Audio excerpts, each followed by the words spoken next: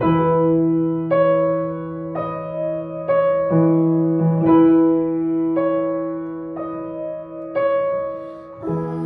still can't believe that you know.